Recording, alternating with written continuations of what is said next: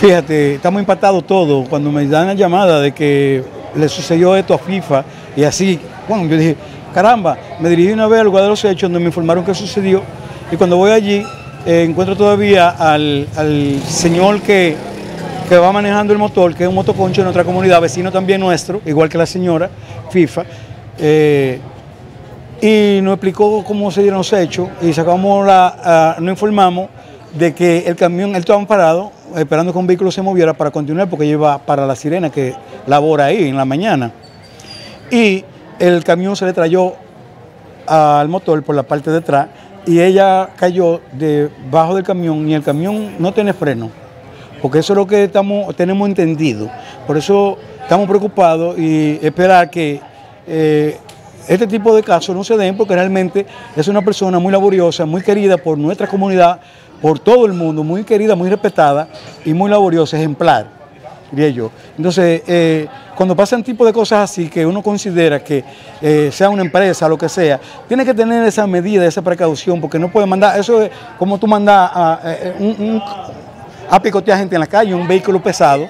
¿verdad? Con problemas de freno, no está supuesto en la calle y yo creo que las autoridades hagan la investigación del lugar porque realmente no nos la van a devolver. Y sabemos que tal vez eh, eh, no, no se van a tomar las medidas eh, como en muchos casos, porque, pero estamos haciendo un llamado como representante comunitario y vecino de esta señora que hoy perdió su vida eh, atrás de hacer sus labores, sale de su casa a, hacer su trabajo para conseguir el pan de cada día. Y mire lo que sucede por negligencia de una empresa que no tiene muchas veces choferes capacitados para conducir en las calles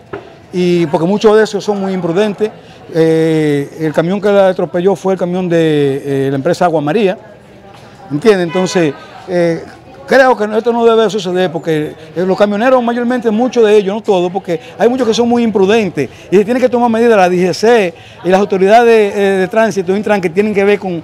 este tipo de situaciones, tienen que aplicar las leyes, las reglas que deben y no estar pendientes en muchas cositas que ocasiones eh, no están evitando ninguna situación. Mire qué pena, mire nuestro sector cómo está. Nuestro sector está desbordado y por esa, la muerte de esa señora, todos estamos condenados, todos. No hay una persona que pueda decir que sea de nuestra comunidad que no está dolorida.